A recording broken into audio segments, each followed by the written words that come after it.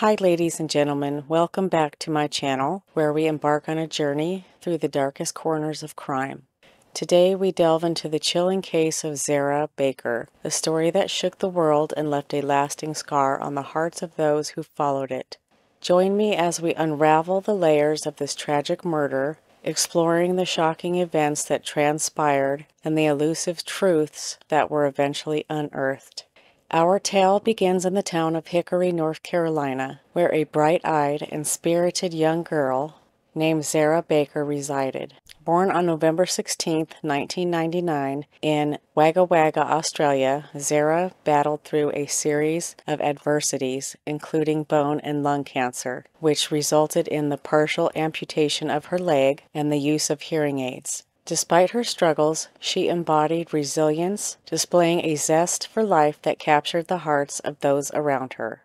To truly understand the circumstances surrounding Zahra's disappearance and tragic murder, we must delve into her family's troubled history. Her biological parents, Adam Baker and Emily Dietrich, separated when Zahra was just a baby. In 2008, Adam relocated to the United States with Zahra, wherein he met his new wife, Elisa, online. Unfortunately, this decision set the stage for a series of disturbing events. Elisa Baker had a history of criminal behavior, including charges of bigamy, financial crimes, and drug-related offenses. Her troubled past raised concerns about the lack of oversight in allowing Zahra to be in her care. She was actually already married to someone else when she and Adam Baker tied the knot. In late 2010, the shocking news of Zahra Baker's disappearance sent shockwaves through the community. Desperate to find the missing girl, a widespread search effort was launched, capturing the attention of local law enforcement, the media, and the case gained national and international coverage,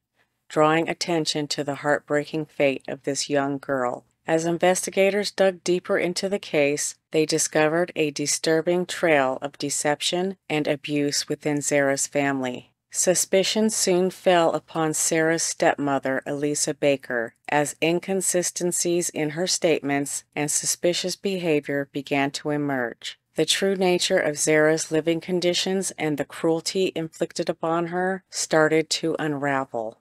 After relentless investigation and mounting evidence, the truth surrounding Zahra's fate was finally revealed. The unraveling narrative painted a haunting picture of abuse, torture, and ultimately murder. Elisa Baker confessed to the heinous crime, admitting to dismembering Zahra's body and disposing of the remains in different locations.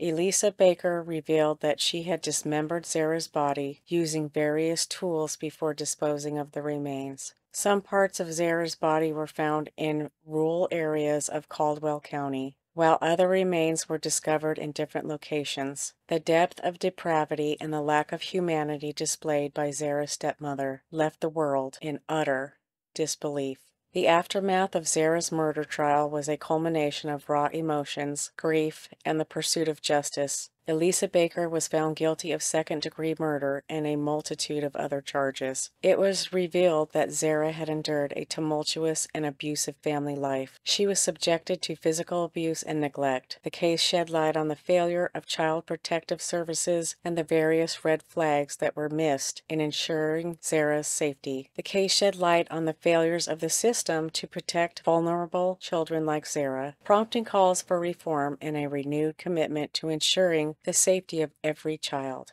The stepmother of murdered Australian girl Zahra Baker will serve at least 14 years in an American jail. In a deal worked out between the district attorney and her lawyer, 43 year old Elisa Baker pleaded guilty to second degree murder.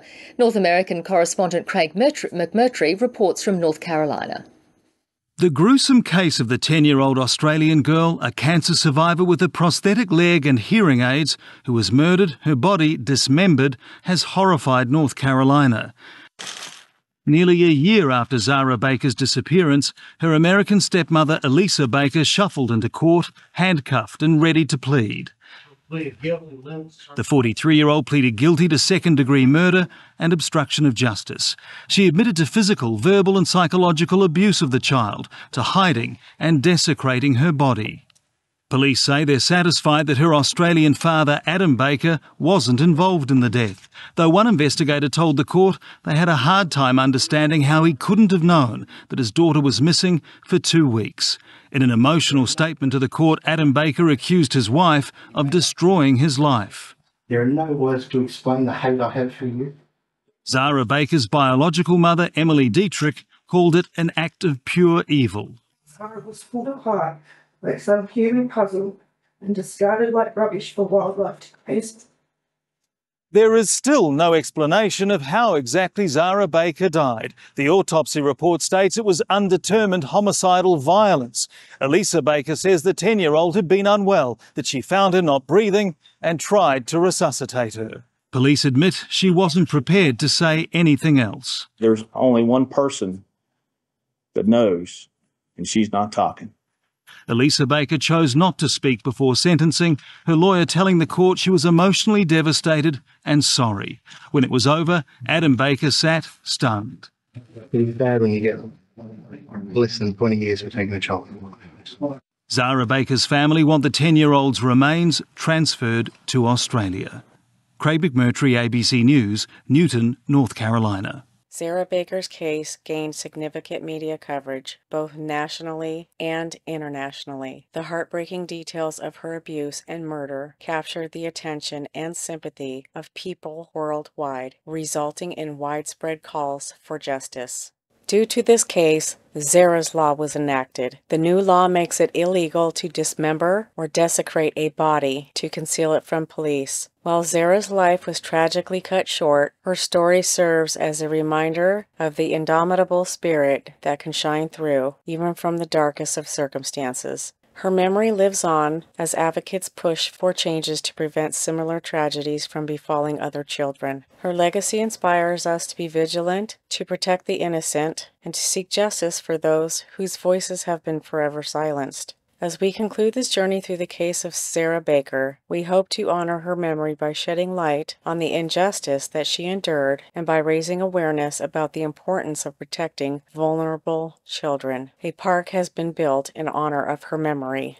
In the wake of such a devastating tragedy, we want to extend our deepest condolences and heartfelt empathy to the family. The loss of Zahra, a vibrant and courageous young soul, is an unimaginable pain that no family should ever have to bear. I cannot fathom the depth of your sorrow or the weight of your grief, but I want you to know that my thoughts and prayers are with you. Zahra's memory will forever live on in the hearts of those who followed her story, and her spirit will continue to inspire us to advocate for justice and protection for all children. I acknowledge the complexities and challenges your family faced and hope that you find solace and support within your community and the wider world. It is my sincerest wish that you are surrounded by love, compassion, and understanding as you navigate the healing process.